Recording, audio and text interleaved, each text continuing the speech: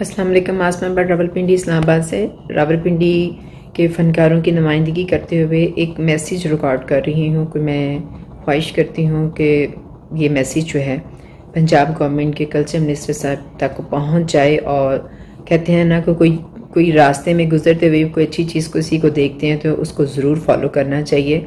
आप पंजाब गवर्नमेंट में बहुत सारे आपके डिपार्टमेंट में कल्चर कल्चर मिनिस्ट्री में लोग बैठे हैं जो काम कर रहे हैं। मेरा नहीं ख्याल कि उनमें से कोई एक बंदे ने भी आपको कोई अच्छा मशवरा दिया हो या कोई ऐसी बात बताई हो जो दूसरों के लिए आसानियाँ पैदा करे और आपको किसी किसी को भी शिकायत का मौका ना मिले। अस्सलाम वालेकुम। पंजाब गवर्नमेंट से फनकारों को खिदमत स्पोर्ट फंड्स के नाम पे कुछ पैसे रिलीज़ किए जाते थे लास्ट बहुत सालों से। लेकिन अभी बीस हज़ार महाना दिया जाता था। अब इन्होंने मतलब जैसे ये नई गवर्नमेंट आई है पीछे इन्होंने पाँच हज़ार पर मंथ कर दिया, लेकिन इसके बावजूद उनको मंथली पैसे नहीं दिए जा रहे हैं। साल में दो दफ़ा पैसे रिलीज़ किए जाते हैं। उसकी वजह बहुत सारी उसमें मिस्टेक्स और बहुत सारी गफलत है। जो पंजाब गवर्नमेंट के, जो मिनिस्टर ऑफ़ कल्चर का डिपार्टमेंट है, उसकी गफलत की वजह से बहुत सारे फनकारों को पैसे बहुत लेट एक तो देते ही खुद ही आप लेट है। भी जब आप रिलीज़ करते हो तो आधों को दे देते हो और आधों लोगों को आप फिर उसी तरह खबार करते हैं। तो मैं एक रिक्वेस्ट करना चाह रही थी, कल्चर मिनिस्टर साहब, ख्याल अहमद कास्तर साहब, आपका नाम बहुत खूबसूरत है, ख्याल अहमद कास्तर साहब। उस ख्याल का ही कुछ ख्याल करके, इन लोगों का ख्याल कर लें।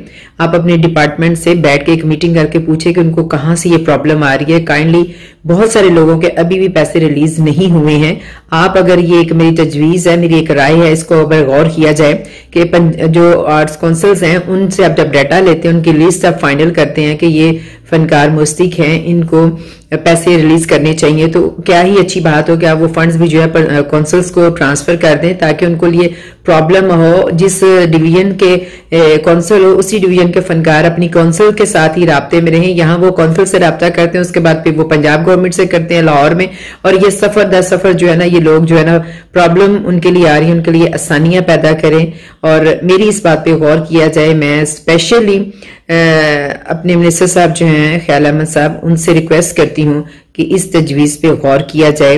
ये तीन सालों से ये टोपी ड्रामा चल रहा है तो इसका कोई हल होना चाहिए और मेरा ख्याल इससे बेहतर हल कोई भी नहीं हो सकता कि यही फंड जो है ना, आप कौंसल्स को उतनी लिस्ट के मुताबिक जो है उनके अकाउंट में ट्रांसफ़र कर दिया जाए, ताकि आसानी हो उन फनकारों के लिए जो उस डिवीज़न में रहते हैं, अपनी ही कौंसल से वो जवाबदेह हैं कौंसल उनकी डेटा जो है कंप्लीट करके उनसे पैसे ले सकें और उनको एक आसानी होगी। बहुत शुक्रिया।